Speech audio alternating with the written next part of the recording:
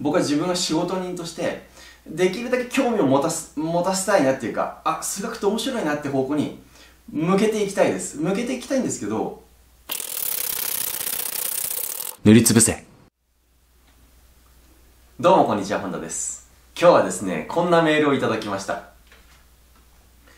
えー、こんにちは。公立高校に通っていて4月から2年のものです、えー、まず僕の高校は地域ではトップレベルで毎年兄弟合格者をたくさん輩出しているようなところです。しかしまるで人形のようにただひたすらペンを動かすだけの同級生が多いです。高校ではより学ぼうという意欲の高い人がゴロゴロいるんだろうなと期待していただけに少し残念でした。僕ははっきりと学校で勉強をする必要はないと思います。なぜならどうせ区分給積法が分かるようになっても生きる上での武器にはなり得ないからです。はっきり言って本当に日常で使うものって小学校低学年まででもう習い終わっていますよね。だからいやいややる必要はないと思います。でも僕は何かを知ることがとても楽しいと思います。初めてネイピア数について触れた時はとても感動的だったな。葉緑体の構造って意外と面白いんだな。僕は学ぶことが大好きです。しかし学校の先生は学ぶ喜びを教えるのではなくただひたすらに勉強を命令してきていると思います。そのせいで生徒は勉強する意味や楽しさを知ることなくとてつもなく大きい勉強圧力に押しつぶされてしまっています。このせいで生徒はみんな活力を持てないのです。多分実際は先生方も学ぶ喜びを知らずにここまで来たのでしょう。だから先生たちに非はありません。だから僕は同級生だけでなく先生家族など周囲の人たちにも学ぶ充足を共有しよりみんなで学んでいけるよう努めています、えー、学校には他の人を学びの波に巻き込むためと単に高校生活が好きだから通っています。本田さんはいつもやるといった感じで勉強を熱くさせますよね。そこに関してはいつもすごいなと思っています。しかし学ぶ楽しさについてお聞きしたいので数学に関してだけでなく教育そのものについてご意見をお聞かせください。まあこういうすごいあの熱いメールをいただきまして。であの本来この塗りつぶせというコーナーはあのまあが学校の文化祭の取材動画っていうのは結構再生されるんで、まあ、塗りつぶせイコール学校の取材動画なんじゃないかって、まあ、思ってる方いらっしゃるかもしれないんですけど、まあ、本来塗りつぶせっていうのはこのようなあの皆さんの質問に対して僕はお答えしてお答えするというか僕の意見をお伝えするっていう、まあ、そういうコーナーなんですね。でまあ久しぶりにまたこういうの質問答えていこうかなというふうに思うんですけどまあ熱いやつ来ましたね。熱いやつが来た。で、まずそうですね、学ぶ楽しさについて。うん、僕は、うん、そもそもその教,、まあ、教育についてって話だったんですけど、僕そもそも自分が教育者っていう意識が全くなくて、あの、教育って、なんかものすごく上から目線な言葉、なんか教えるって僕からするとかなり上から目線な言葉なんじゃないかなって勝手に思ってるんですよ。でなんか僕はそういうふうにあの俺が上お前らは下だから俺の言うこと聞けみたいな感じじゃなくて単純に自分が表現してることをなんか見てくださった方がなんかそれ楽しいなとかすごいな面白いなって思ってくれたら、まあ、それが嬉しいなっていう感じだから教えるじゃなくて伝える表現するって、まあ、僕は結構意識してるんですけれども、うん、だからそのなんていうのかな。学ぶ楽しさ。確かにあのー、学ぶ楽しさがあった方が絶対的にいいと思うんですよ。僕も自分の仕事が楽しいからっていうのがまあかなり大きいんですよ。楽しくなかったらやっていけないなっていうのがあって。でもやっぱりそのうんと例えば自分がこれは楽しいんだぞって伝えてなんか相手をなんか相手が別に楽しいと思ってないのに楽しいんだよ俺こんな楽しいんだから楽しいよね楽しいよねって。なんかそれはちょっとエゴなんじゃないかなって僕は思うんですよ。うんちょっとそれはエゴなんじゃないかって。まあ例えばあのー、僕いくら嫌いなんですよいくら。で結構いくら嫌いって言うとなんかえー、あんな美味しいのにもったいないみたいなこと言われるんですけど冗談じゃないって。僕はいくらがいやあのなんて食感がどうのとかもうなんかまあ気持ち悪いですしあの味も好きじゃないんですよ。でもなんかそのイクラがめちゃめちゃ好きな人からするとなんでいくらこんな美味しいいくら美味しいって思えないんだろうみたいな、えー、そんなかなんていうのかな。それをなんか無理やりいくらってこんな美味しいのにこれ美味しいと思わないお前なんておかしいみたいな。ちょっとそれエゴなんじゃないかなと思ってて。うん。でだからさっきのそのなんていうのかな。ペンを動かす人形のようになってるみたいな。うん。僕はそれはそれでいいんじゃないかなって思うんですよ正直。あのー、本当にまあ彼もメールで言ってたようにあの今学んでる数学、まあ、区分級積法なんてマジ使わないですしあのー、本当に学者さん以外で区分級積法を日常的に使ってるやついるかって思うんですよね。うん。で、まあ、僕はあの数学すごい楽しいっていうか好きなんですよ。例えば分かんない問題が分かるようになった瞬間とかってなんていうのかなその無から有をクリエイトするっていう感覚。問題文見ただけだったら多分長い問題文見ただけだったら全く答えが浮かばないのに例えばまあ食塩水の問題とか何パーセントの食塩水と何パーセントの食塩水をなんか混ぜ合わせて何パーセントの食塩水何グラム作るみたいな。例えば文章読んだだけだと一瞬で答えることって、まあ、少なくとも僕はできないんですね。でも例えばこう図を書いたり式をこう組み立てたり記号をこうやって移行したり割ったり操作することによって最終的にあのそれが分かるっていう。それに僕すごい感動を覚えるっていうかいや面白いなって思うんですよ。だから僕はあの全力であの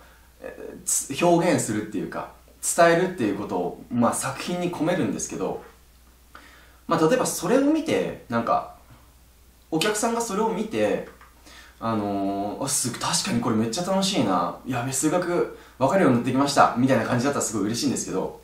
それ見てなんか、うん、つまんねえわって思われたんだとしたらまあそれはそれでしょうがないかなっていうか。で別に僕そのつまんないなとか面白くないなって思った人に対してこの野郎っていうふうな感情は特にないっていうかうん。なんかつまんないもんはつまんないしって思うんですよ。ただ僕は少なくともあのー、まあプロフェッショナルとしてっていうか自分の中のポリシーっていうか、うん、全力で表現して、まあ、人に感動人の感動を呼ぶことができたら素敵だなっていうふうに思ってやってるんですね。うん、で、うんと、なんかさっきメールの文章で、えー、多分実際は先生方も学ぶ喜びを知らずにここまで来たのでしょう。だから先生たちに非はありませんって。書いてあるんですけど、うん、なんかまあ非はないかもしれないけど僕はなんかプロとしてやっていくんだったらなんかもっと仕事に誇り持とうぜっていうのはありますね。確かに別に面白いこと伝えないから仕事してないとかじゃないんですけど、まあ、単純にその、まあ、僕は仕事やるからには最高の仕事したいなって思いますしだからなんかただ言われたことをマニュアル通りに従ってなんか授業してるから別に仕事してるじゃんってまあ仕事してるんかもしれないけどなんかちょっとそれは寂しいなって思いますね。結局その、まあ、ちょっと話ずれるんですけどまあ教育者というか先生というかっていうのはやっぱそのあこの人みたいになりたいなってあの思える人物であることが前提っていうか、うん、なんかうんその先生ですね、まあ、先生というか尊敬される人であるべきだと僕は思うんですよ。あこんな人みたいに俺もなりたいなって。じゃあその鏡となるような人がなんか、うん、そういうことを表現。自分がまあ勉強が楽しいって、えー、思ってな思ってない状態で今まで生活してきたとかっていうのは関係なく自分がそれをなんか表現する立場だったとするとうんなんかいや自分もつまんないと思ってたから今もつまんないと思って思って指導してますってなんかちょっとそれかっこ悪いなっていうか、まあ、さっきも言ったように別にだから悪いとかじゃないんですけど、うん、ちょっとなんかかっこ悪いなって僕思いますね。うん、だから結局これで僕がまたどうのって言うとまたエゴって話になっちゃうと思うんですけど。うんそんな風に僕はこれを見て思いましたね。うん。だからそのうん勉強、まあ、僕も高校生だった時、まあ、正直今僕数学は楽しいんですよ。数学は楽しいけどなんか、まあ、例えばつまんないこととかって別にありますし全くこんなこと興味ないとか、うん、例えば、まあ、僕で言うと学問からちょっと離れちゃうんですけどあのー、芸能人のニュースとかマジどうでもいいんですよ本当に。なんか誰と誰が結婚したとかなんか誰が不倫したとか。マジどうでもよくてそんなこと、うん、なんかというよりも僕はなんか例えば悪いことした人がなんか記者会見する時とかになんかどんな態度で臨んでるのかなと。で別にその人がなんかどういう態度で臨んでるからこいつ嫌いとかムカつくとかじゃなくてあなんかどういう態度で臨むとあの人はどのような反応をするんだろうかとか。そういうことは結構まあ興味あるっていうか面白いなっていうふうな感じで見てるんですけど本当マジどうでもよくてまああとちょっとあのー、うんちょっとそれそれ関連のおお仕事に関連するお父さんとお母さんがそういう仕事してるとかあされてるって方だったらちょっとあのまあ申し訳ないんですけど正直僕にとって例えばよく昼お昼のニュース番組とかでやってるあのお相撲さんのなんとか協会がなんかどうのみたいなマジどうでもよくててかそんなの想像すんだったら俺の YouTube 取り上げろって思うんですよ。俺の YouTube 取り上げた方がどんだけこの日本中のあの学生さんたちにあの感動を呼ぶことができるのかってお前ら分かってんのかってちょっと思いつつまあ見てるんですけどマジどうでもいいんですね。でそれと同じような状況に結構なってるあの学生さんいると思うんですよ。その僕のその芸能人がの結婚がどうだマジどうでもいい。お相撲さんのなんだか協会の、ね、なんだか情がどうのみたいな。もうマジどうでもいい。それと同じ感覚であのマジ数学とかどうでもいいわみたいな。受験とかマジどうでもいいわって思ってる人いると思うんですよ。でも別にそれはそれはしょうがないんじゃないかなって。思うんですね。で例えばさっきの例で言うとまあ、ニュースキャスターなのかなんとか専門家なのか分かんないんですけどじゃあ例えばその相撲の話。その相撲の話をものすごくなんか僕はもうめちゃめちゃ興味ないんですけどその興味ない僕に対して相撲今今相撲協会で話してる内容ってこういうことででこれってめっちゃ面白いんだよってそれを向こう側が面白く表現僕の心を変えるように面白く表現してくれる分にはウェルカムなんですけど、うん、でも別になんか、だから面白いと思いなさいって言われてもなんか冗談じゃねえって思うんですよ。だから結局なんか、自分自身なんじゃないかなって思うんですよね。うん。だから自分が楽しいって思ったら楽しいってことを表現すればいいですし、でもその表現したことによって相手を強無理やり、おい楽しいじゃねえか、なんでわかんねえんだよってすな英語かなと。で、受け手側としても、それを楽しいか楽しくないかって、まあなんか思うのは、本本人次第っていうかもっと自由にしていいんじゃないかなって思うんですねでただえっ、ー、と今もう僕みたいに、まあ、社会人っていうかあの特に学校とかもうなんなら会社とかにも所属してないみたいなまあそういうなんていうの？うんとノマードっていうかノマードあの、まあ、遊牧民っていうか あのフリーな状態になったらマジ興味ないこと別に興味ない。興味あることだけやるってできると思うんですけどただ学生さんの場合はあのー、例えば自分の中で、まあ、学生さんの場合はっていうかあのー、例えばある企業に勤めたい。でその企業に勤めるためには大学、えー、卒業してないと大学に在籍だから大学に卒業してないとそもそも受ける資格がない。って話だったらもう嫌でもやるしかないってきれ事抜きで嫌でもやるしかないっていう状況に立たされてる人いると思うんですよ、うん、そしたらなんかその人形みたいにやりたくないけどもう俺はもっとその上の方を見てんだ。こうこうしたいんだって。例えば金持ちになりたい。金持ちになるためには大企業。大企業行くためには大学卒業。大学卒業っていうかいい大学卒業。じゃあいい大学卒業するためにはまずいい大学に入んなきゃいけなくていい大学に入るためには勉強しなきゃいけない。でもその大学が設けてる科目の中に数学があって数学俺マジ嫌いなんだけどやるしかない。って話だったらもうしょうがないじゃんって。やるしかないじゃんって、うん、だから例えばそれでいやいやいやいやでも人形のようにこうカリカリやってる。人たちに対してあのいやお前楽しめよみたいな。それ楽しんだ方がいいんですよ。楽しんだ方がいいんですけどまあ別にそれはそれで一つの選択肢っていうか結局やるその選択するのは自分自身だからっていう。僕はそんな考え方ですね。うん。でまあさっきも言った通り僕としては僕ができることっていうのはまず僕は数学がすごく楽しい好き。まああとは好きとか楽しいだけじゃなくて綺麗事抜きであの僕金持ちになりたいんで金が稼げるっていうか数学で金が稼げるかもしれない。その可能性が秘めてるからやってるっていうか。あの武士は食わねえと高用事みたいのって僕嫌なんですよ。あのー、自分はアーティストとしてっていうか作品をちゃんと正当に評価されたいし、うん、こんな素晴らしい作品を出してるんだからあのそれ相応に、う、金稼げなかったらもうこの業界俺嫌だよって思うんですね。うん。でだけど、うんと、その僕の作品を見て僕は仕事人として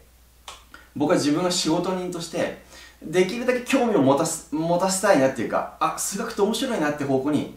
向けていきたいです。向けていきたいんですけどそれを見て、まあ、やるかやらないかっていうか、うん、もうそこまでなんか、あのー、面倒見きれないっていうか別に大ごりしてるわけじゃねえしそこからもうやるかどうかっていうのは自分自身だろうって。まあそんな風に思いますね。うん。楽しいって思えば楽しいと思えばいいし楽しくないものを無理やりあの外部の人間から楽しいって思え僕もなんかあの仕事サラリーマンしてた時とか研修とかであったんですけどなんかつまんないと思わずに仕事を楽しみましょうみたいな。えつまんねえもんつまんねえってって思う思うんでまあそこは自由にもっともっと自由にこうあるべきとかじゃなくてうん。あのー、もっと自由にやっていけばいいんじゃないかなって思いますね。うん、まあ、こうあるべきこうあるべきとかじゃないって言ったんですけどでもやっぱりそのまた話が二点三点するんですけど教育先生っていう仕事は結構僕特別な仕事だと思っててそういう人たちはやっぱり適当なことしちゃいけないっていうか、まあ、適当なことしていい仕事なんてないんですけど特別な仕事からすると、まあ、こうあるべきみたいなものも少しあるのかなと。あぐちゃぐちゃなんですけど。だから僕はなんかなんていうのかな。うん、こうあるべきみたいな型にはまらないような、あのー、仕事っていうか、ライフスタイルっていうか、したくて。だから僕は先生でもないし、別に見たかったら見ればいいし、見たくなかったら見なきゃいいしっていう。うん。その代わり厳しいですよね、別に。あのー、絶対に毎年毎年生徒が、あのー、入れ替わり立ち替わりこう入ってきて、とか別に、学校の先生だとしなくてもいいかもしれないですけど、僕の場合は、クソみたいな作品ばっか出してたらもうこいつの作品見るのやめようっつって離脱してってっていうのはありますからまあその辺はやっぱりあのリスクというかあるんですけど、ちょっとごちゃごちゃになっちゃいましたね また話を、うん、だからなんかもっと自由でいいんじゃないかなっていうふうに思いますね。うんあのいやいややんなきゃいけないこともあるっていうかいやいややんなきゃいけないことがあるそんな生活嫌だと思ったら抜け出せばいいんじゃないかなっていうふうにそんなふうに思いました。だからこのメールくれた方僕この方を否定するわけじゃないんで否定してるわけじゃなくて自分が楽しいと思ったんだったらもっともっと深く掘り下げて楽しめばいいと思いますし今やってるそのいや数学ってこんな楽しいんだ学問ってこんな楽しいんだっていう活動あのどんどん積極的にやってってあのその冷めた先生たちの代わりとなって自分がね広げていくってぜひやってほしいなっていうふうに思います。ただその動画行き過ぎてね、あの、エゴになっちゃいけないんじゃないかなっていうのがまあ僕の意見でした。そんな感じです。では、初めにも言ったんですけど、この塗りつぶせっていうコーナーは、皆さんの質問に対して僕なりの意見をお答えするっていう、それがまあ本質的なコーナーなんで、これからもあのメールいただいたら僕、面白いなと思ったものに関しては採用して、バンバンこうやって動画で皆さんと共有していこうかなと思うんで、まあぜひどしどし、えー、ご質問いただければと思います。今日はそんな感じです。ありがとうございました。このコーナーではあなたの質問を募集しています。質問は公式ホームページから。動画に興味を持ってくれたら、ぜひチャンネル登録もお願いします。前回の動画はこちらからご覧になれます。いつも素敵なコメントありがとうございます。